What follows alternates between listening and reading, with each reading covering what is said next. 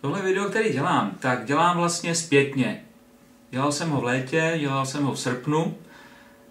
Dělám to na tohleto zařízení S6R, je to přijímač se zabudovanou stabilizací.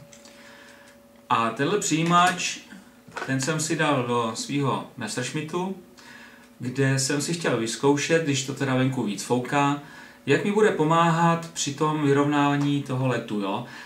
Jednak samotný autolevel takzvaný, kdy vám vlastně vybere letadlo v momentě do vodorovna, když vidíte, že už to nevládáte, nebo jste už prostě krajně nejistý, jestli to vůbec vyberete. A pak jsem si chtěl vyzkoušet i tu funkci asistenta stabilizace, kdy vám prostě letadlo při nějakým bočním větru nebo při poryvu se naklání a ten autolevel vám to malinko koriguje tak, aby to nebylo jako házení s ním moc velký v tom větru. No výsledek, eh, nebudu to tady nějak dlouho okecávat, podíváme se na to. Tak, zkusíme si teď tady Messerschmitta, tady Messerschmitta při trošku větším foukání.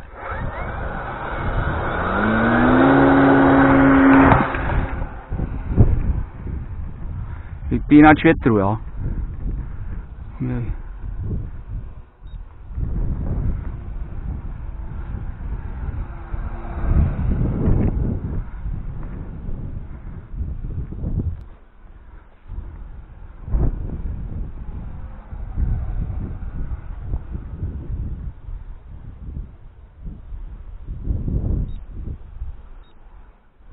auto level.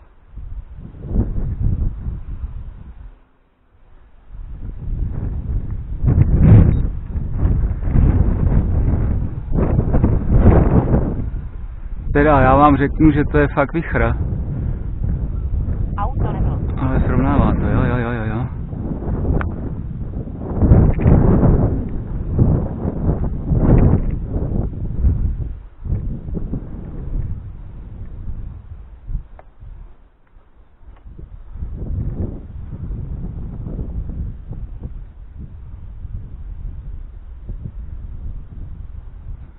A dokonce to i plachtí. Všechno bez motoru.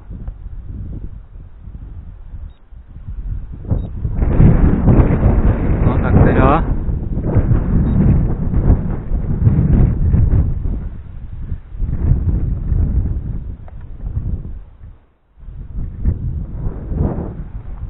Šest minut.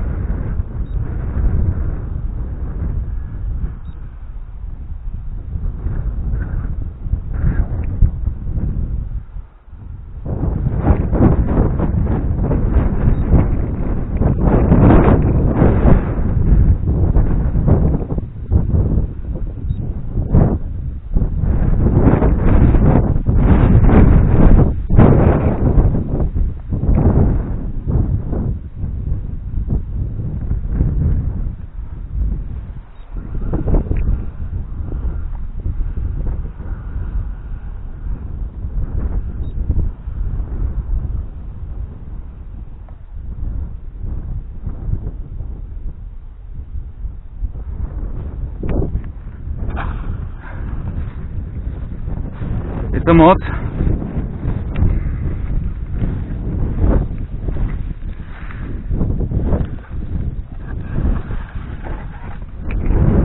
To už si s tím hraje až až. Takže tohle to. Tohle bylo vlastně takové cvičení na to, jak to funguje s autolevelem.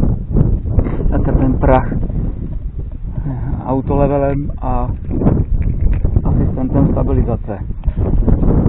Já myslím, že to bylo docela dobré. Takže, takový shrnutí, který bych udělal k tomuhle testu, je ohledně přijímače S6R.